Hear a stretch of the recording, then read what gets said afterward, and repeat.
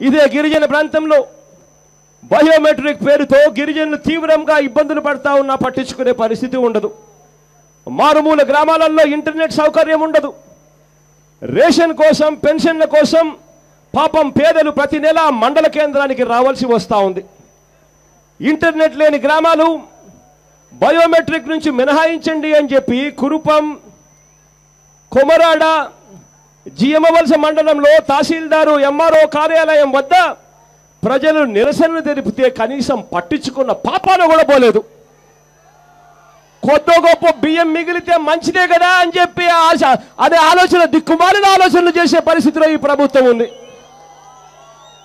బియ్యం ఎలా పంచిపెట్టాలి ఎక్కువ పేదలకు ఎలా ఇవ్వాలి అన్న ఆరాటం చూపించాల్సిన ఈ ప్రభుత్వం బియ్యం ఎలా మిగిలించుకోవాలి అని చెప్పి ఆలోచనలు చేస్తూ ఉంటే ఇంతకన్నా దిక్కుమాలిన ప్రభుత్వం ఎక్కడైనా ఉంటుందా అని అడుగుతా ఉన్నాను మీ అందరి తరఫున.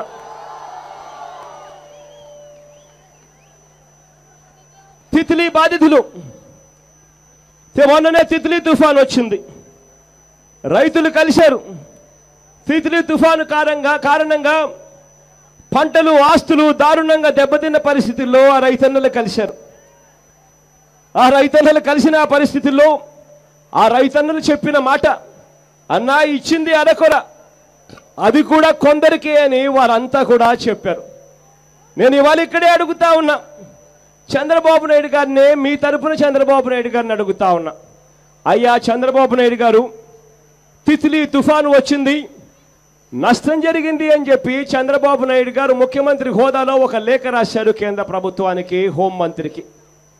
ఆ లేఖలో తిత్లీ తుఫాన్ నష్టం మూడు వేల నాలుగు వందల ముప్పై ఐదు కోట్ల రూపాయల నష్టం వాటిల్లింది అని చెప్పి చంద్రబాబు నాయుడు గారు కేంద్ర హోంమంత్రికి స్వయాన లేఖ రాశారు. ఆ లేఖను బయటికి కూడా రిలీజ్ చేశారు. మూడు వేల నాలుగు వందల ముప్పై ఐదు కోట్ల రూపాయలకు నేను ఇదే చంద్రబాబు నాయుడు గారిని అడుగుతా ఉన్నా. అయ్యా చంద్రబాబు నాయుడు గారు మూడు వేల నాలుగు వందల ముప్పై ఐదు కోట్ల రూపాయలకు నువ్వు ఎంత డబ్బు ఇచ్చావయ్యా అని చెప్పి నేను అడుగుతా ఉన్నాను. ఎంత డబ్బు విడుదల చేశావని అడుగుతా ఉన్నా చంద్రబాబు నాయుడు గారిని. కారణం మూడు వేల నాలుగు వందల ముప్పై ఐదు కోట్ల రూపాయల నష్టం వాటిల్లితే ఈయన ఇచ్చింది ఇంతవరకు ఎంత అంటే కేవలం ఐదు వందల ఇరవై కోట్ల రూపాయలట. అంటే పదహైదు శాతం కూడా కనీసం డబ్బులు ఇవ్వని ఈ ప్రభుత్వం మళ్ళీ చూస్తే ఏ బస్సు మీద చూసినా కానీ ఈయన ఫోటోనే. విజయవాడలో ఫ్లెక్సీలు కట్టి మళ్ళీ ఈయన ఫోటోలు పెడతాడు. పెట్టి ఏమంటాడు? తిత్లీ బాధితులను విపరీతంగా ఆదుకున్న చంద్రబాబు నాయుడు గారట. మూడు వేల నాలుగు వందల ముప్పై ఐదు కోట్ల రూపాయలకు నువ్వు ఇచ్చింది పదహైదు శాతం. ఐదు వందల ఇరవై కోట్ల రూపాయలు కూడా ఇవ్వని నువ్వు ఏకంగా బస్సుల మీద ఫోటోలు వేస్తావు ఫ్లెక్సీలు కడతావు అడ్వర్టైజ్మెంట్లు ఇస్తావు. పూర్తిగా ఆదుకున్నాను అని చెప్పి ఏకంగా నువ్వు పబ్లిసిటీ ఇచ్చుకుంటావు. నీకన్నా దౌర్భాగ్యుడు ఎవరైనా ఉంటాడా అని చెప్పి అడుగుతున్నాను మీ అందరి తరఫున నేను ఈ వ్యక్తి చంద్రబాబు నాయుడు గారిని.